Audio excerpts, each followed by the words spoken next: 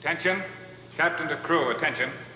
Our destination, Altair 4, is now visible on the main view plate. Forbidden Planet really was the Star Wars of the 1950s. It was the first film that I know of where you really were immersed in this other world with no compromises. Even people who didn't read science fiction could tell when they were watching Forbidden Planet that they were seeing something made by people who respected the genre. The imagination really was at play, and still is when you watch this film. The idea of a creature from the unconscious is really, really different. Prepare your minds for a new scale of physical scientific values, gentlemen. Forbidden Planet was the benchmark for years. It's just in terms of sheer production value and scope. The effects were stellar, but so was the story. It was a perfect match. It's that MGM gloss, and instead of singing in the rain, it's science fiction. Flying saucer, cool robot. Can I be of service, sir? And a horrible monster. You know, what could be better than that?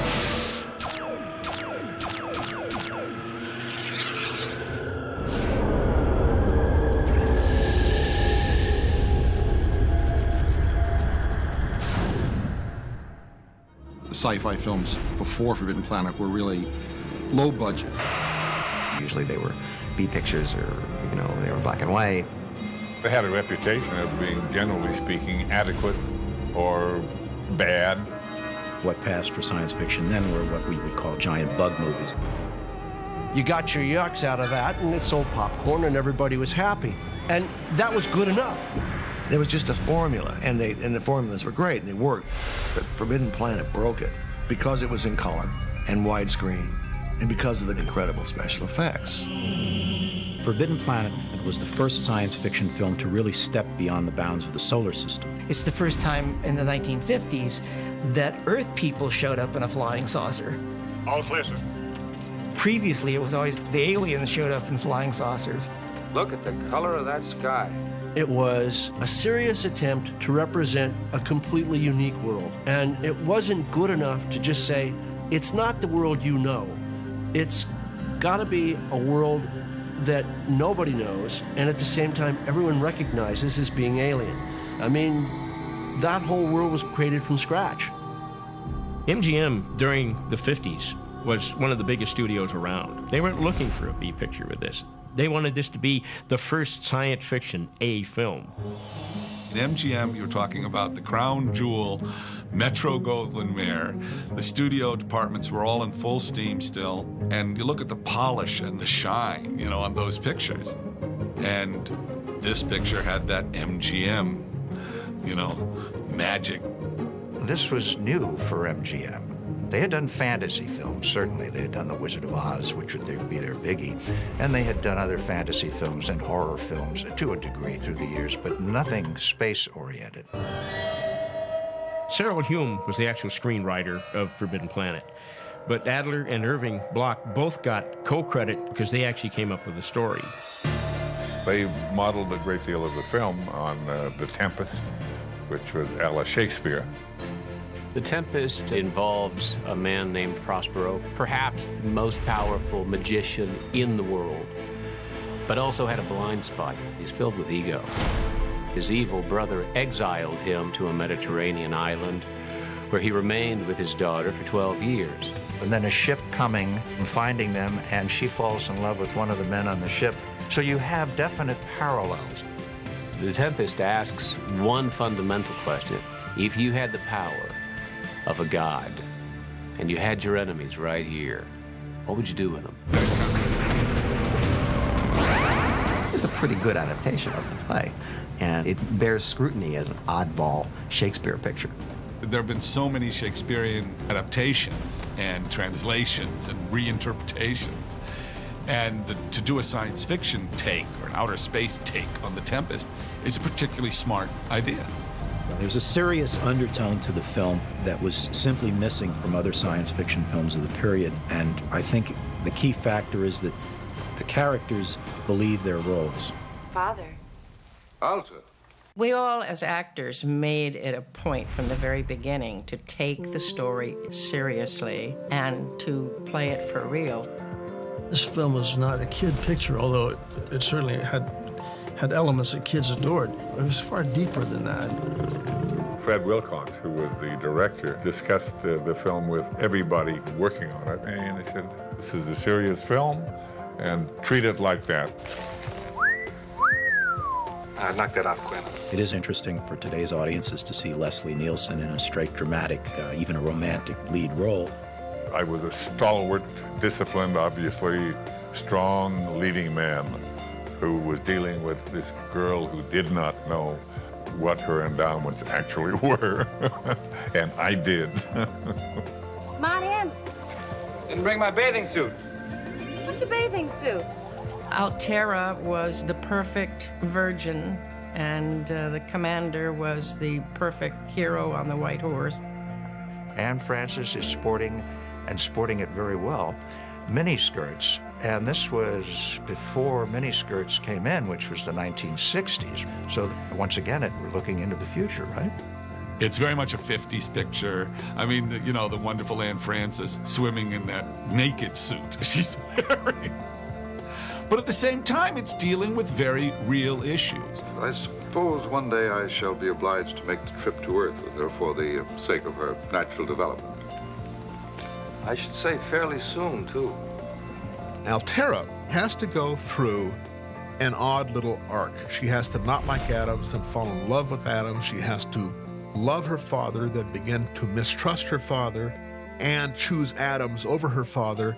That alone makes it a masterpiece of space opera. You'll find the household silver in the dining room and my daughter's jewelry on her dressing table. Walter Pidgeon at the time was one of MGM's stars. He had a great voice. He had a great look about him. I mean, nobody could have played Morbius like he did. Pidgeon gave the picture this keel of seriousness that it was taking itself seriously while at the same time having fun.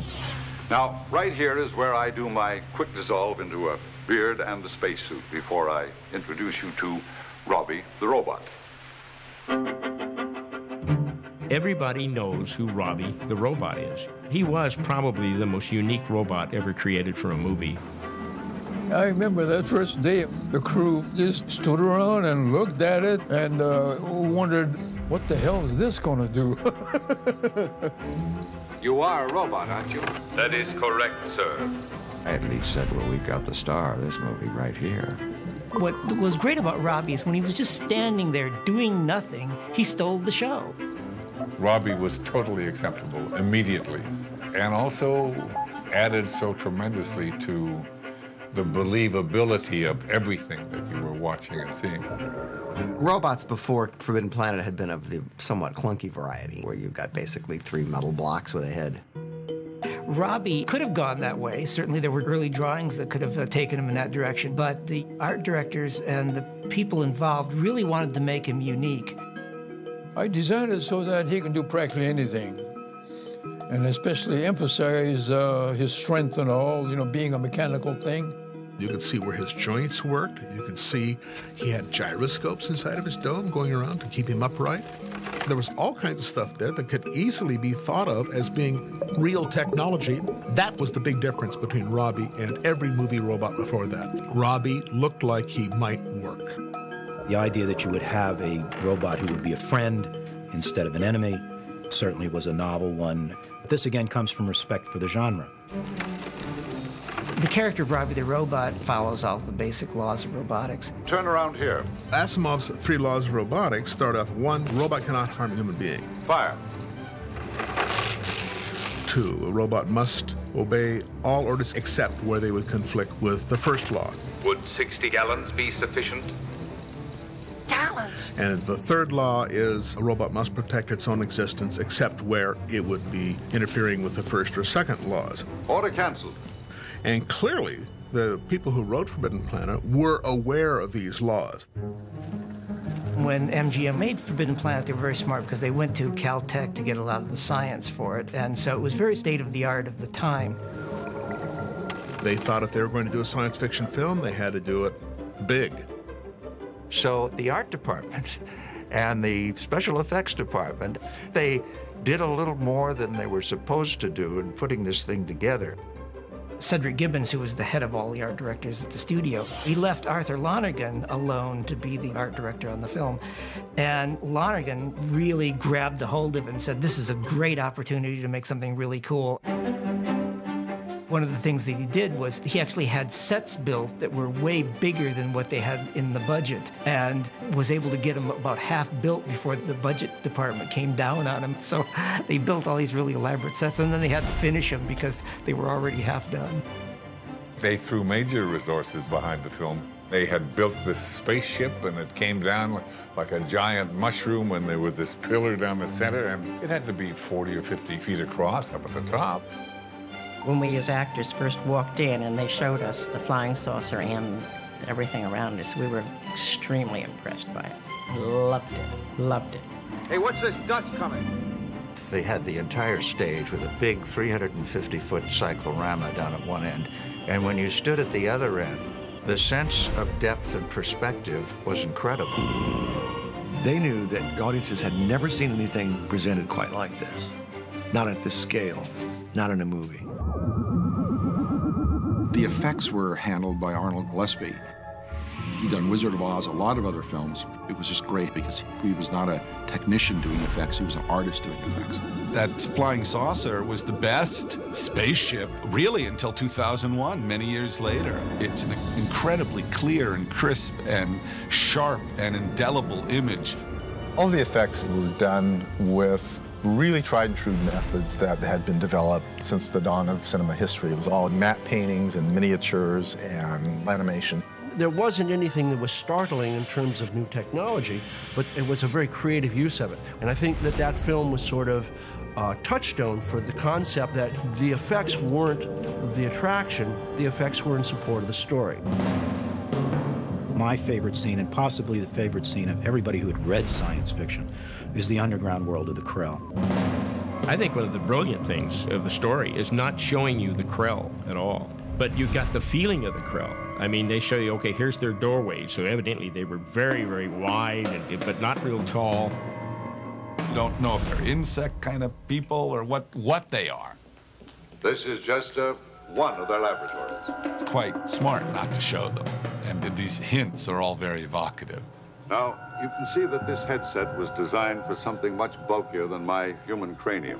When Pidgeon's showing the mind thing, you could see how big these heads obviously were, but you, you never got to see an, an image of them, which I thought was great because my own mind created this pretty weird looking thing.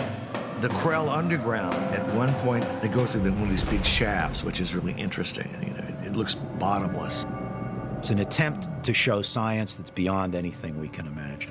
Since Fritz Lang's Metropolis, nobody had ever attempted scale in science fiction before, and that kind of scale was simply boggling. You get to see these amazing miniature sets with little tiny people walking through these just vast networks of machinery that, that is still alive. They built a model of the sort of shaft. So it was shot horizontally with the camera probably on its side. And they had them going from one end of the stage, which was the large stage on the MGM lot, down to the very uh, end on the other side. It's as long as a football field. And they put that tremendous matte shot on it afterwards. That was what impressed me most in the picture, I think. There's a moment when they're walking inside the planet, and Walter Pidgeon points and he says, 7,800 levels. It really is awesome. Wow. It was just huge. It was this huge underground place. I mean, you almost, looking back at it now, it's almost like the inverse of the Death Star. And then they go into another area, and it looks like super hydroelectric power. It's science fiction and it's futuristic, but it's got that technology of the 50s creeping in. It gave you a sense of the power and the scope of what the aliens had created. Yes, a single machine. View 20 miles on each side. The idea of the Krell reaching a level of sophistication and technological accomplishment where their thoughts become real, they're instantly realized, and of course they destroyed themselves. 9,200 thermonuclear reactors intact. The harnessed power of an exploding planetary system. In that respect, you could say it has political overtones because everybody was very concerned in those days about nuclear weaponry. To think that that entire race is gone, that civilization is gone, is very poignant and adds a real melancholy to the entire, uh, the entire film. All of these little details go to make up good science fiction, whether it's written science fiction or filmed science fiction. So when they came to making each decision, they made the right one, all the way up to even the music and how to do the music. Louis and Bebe Barron created a soundtrack that was like no other soundtrack that had ever existed before. And they invented electronic music that you know today. There weren't not even half a dozen people who were doing electronic music at that point, and there wasn't any commercial equipment, so Louis had to build everything. They had a, a, lot of oscillators. Those are electronic circuits which generate tones and tonalities. It's the precursor to the music synthesizer. They were kids with these pieces of equipment, and good lord, I mean, it's a classic, classic score. So originally, the thought was they were going to do what amounted to sound effects, and somebody else would do the score overall. It took us about eight months to just do the raw sounds of a Forbidden Planet. Believe it or not, they loved what we came up with and gave us the whole film to score.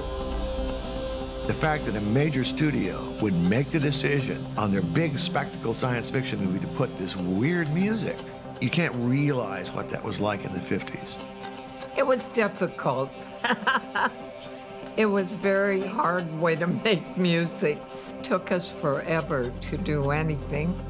It was sort of like an impromptu work because they had so many loops going. They had vacuum tubes. It was a truly experimental score, and I've heard nothing like it in any movie.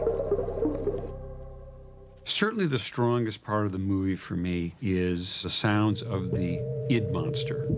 It was terrifying uh, to hear that when I was a child your imagination was fueled by the sound of that creature. Joe, what? Do you hear something? Like what? Like a sort of big breathing. When you hear that, those boom boom starting with the id and stuff, man, it was chilling.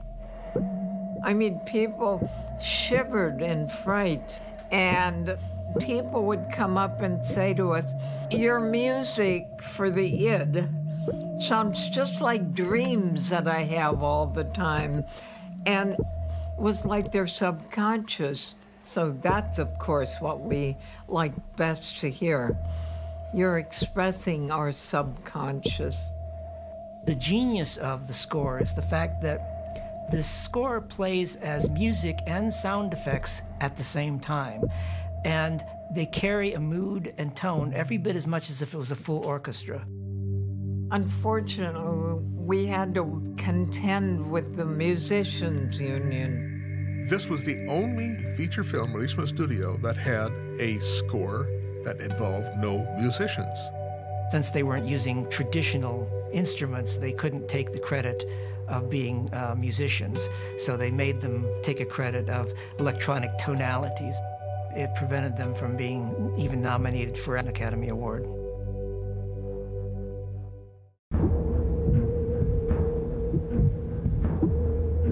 Thing that kids really wanted from their space movies in the 50s was they wanted monsters. Forbidden Planet used one of the techniques that really accomplished horror filmmakers and horror writers do, which is you don't show all of the monster. You let people's imaginations fill it in. And here's this invisible monster sneaking up to the ship. You see the footprints down in the sands. It was unbelievable. And you saw this stairway that went up to go into the spaceship. And all of a sudden you saw the stair going.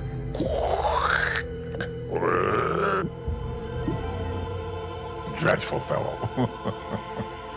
the brilliance of Forbidden Planet is this whole idea of the Freudian monster, the monster from the id, which was a, a really cool, weird idea at the time. It's still one of the best science fiction ideas ever. Freud's theories on psychology was that there was an id that was between the ego and the superego. And the id was where all of our primitive side resided. You're talking about Freud meeting outer space. So you had the character portrayed by Walter Pidgeon, you know, who doesn't even realize that he's doing this.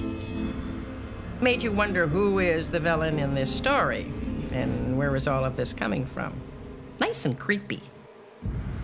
The monster from the id wasn't intended to be something that you saw, but they realized that uh, somewhere during the shooting that they really needed to see something. Activate main batteries. MGM said, look, we're going for terror. This thing has got to be a nightmare. It's got to be all the things that a good character has. It's got to be mobile. It's got to be scary. It's got to look menacing. They went through all kinds of concepts of what it could look like. Some are almost comical. To something really kind of gruesome, like a worm looking thing. It was kind of hideous. The creepiest one is since it's Walter Pidgeon, it's Walter Pidgeon's head on this two legged biped thing. Really hideous looking. I mean, that would have scared people, I think.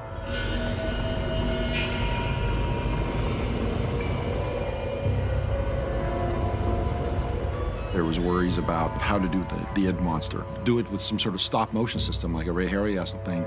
And I think that may have looked too solid, but they went with an animation approach. MGM had an optical department, had a matte department, had a special effects department. The only thing they didn't have at that time was an effects animation department.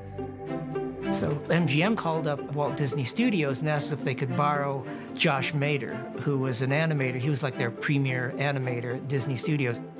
And Fantasia, he came up with most of the, the really great concepts of the, the dinosaur fights and stuff like that. He was great at doing like lava flows. I mean, the guy was, was probably one of their best animators.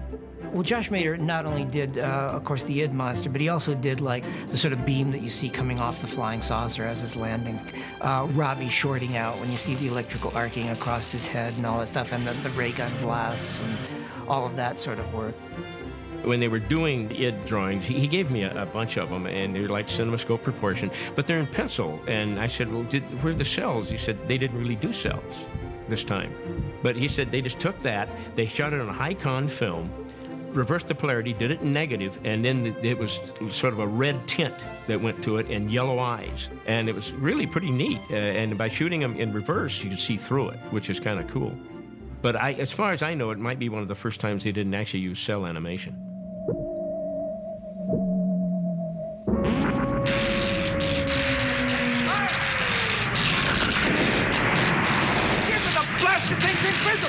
that you only see the monster from the id in the outline of their laser gun. The way that's done, it's fabulous. It's got those massive shoulders up there that make it look enormous and powerful, and the head below coming right at you as opposed to the head above. And it's got this great mouth with the teeth and the eyes, and it was really scary. I remember hiding behind the seat in our car. We were watching that movie the drive-in. I had grown up seeing all the old films on television, and I knew that Dracula was just a guy in a cape, and I knew that Frankenstein was just a guy in funny makeup.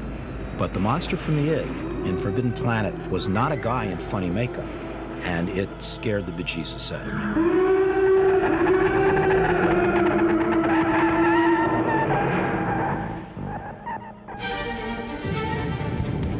This film was released in 1956. Forbidden Planet was one of those flukes that didn't make it the first time, but over the years got its audience. Forbidden Planet really was the movie. It really is heads above every other science fiction film that was made in that era, and I think influenced everything after that. Everybody knew what written science fiction could show you, but nobody until Forbidden Planet, I think, had seen what film science fiction could really do. Forbidden Planet could very easily have been a pilot film for Star Trek. I'd met with Gene Roddenberry a couple times, and he had mentioned that Forbidden Planet was what he wanted to do. He wanted to take that and make it into a TV series. Even Star Wars can be attributed to Forbidden Planet. R2D2 is sort of a Robbie the Robot kind of character. And in Star Wars, they talk about, you know, your common blasters. Fire. Which is right out of Forbidden Planet and the way that Princess Leia appears, did it's exactly the way Anne Francis appears. The stuff that they proposed has sort of come and come to being now, like where they had those little communicators with the uh, video cameras on them. It was some pretty advanced ideas. I can play back every scene, every frame practically in my head from every shot in the film because I've seen it so many times. This movie influenced an awful lot of us from when we were really young. Ford sure makes some beautiful worlds. Forbidden Planet is a great film for my childhood and my memories and, and me falling in love with cinema. Batteries, fire! It was one of the movies that I saw that made me want to be a director. It's really a movie of ideas, and that's really why the film has become the classic that it is. It's good to be in a picture that people still talk about 50 years later. Each new generation that comes along sort of rediscovers it. I got a phone call just recently from my grandson saying, Grandma, Grandma, I just saw you on television. And it was Forbidden Planet. Just once more, do you mind? Not at all. A lot of things become old fashioned, and for something to remain that interesting and that fresh, in its category, it's uh, the granddaddy. Forbidden Planet's the first film that is not just science fiction, but super science fiction.